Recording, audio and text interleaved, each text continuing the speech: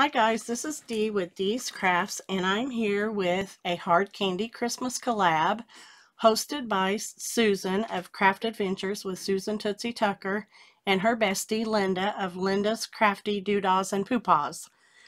And it's a three week collab. It's all crafter's choice. It just has to be candy related. And I will list Susan and Lynda and all the other collaborators information down below. So please go check them out. Give them a like, subscribe, show them some love, and let me show you what I made. I made these candy wrappers. And everything in here, well, the M&M is a charm.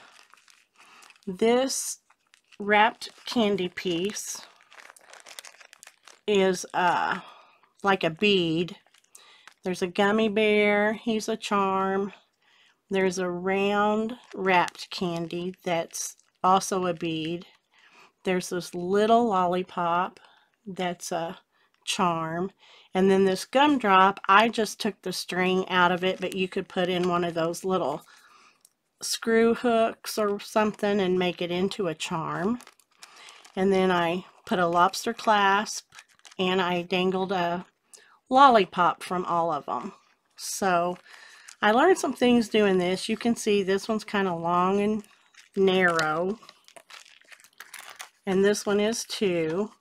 They're all the same except for the color of what's inside them. Oh yeah, and I put these little peppermint sprinkles in there instead of sequins or something. So whoever gets these can just open them up and use what's inside.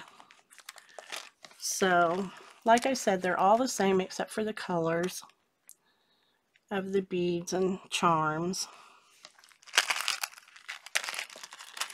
And what I learned was this one is shorter and narrow or wider than this one.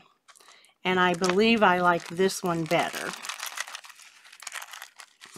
Maybe I didn't put enough of those little peppermints in for them to shake around very well, but Anyway, here's this one. So I hope you like what I created, and I will see you guys in the next video. Thanks for watching. Bye.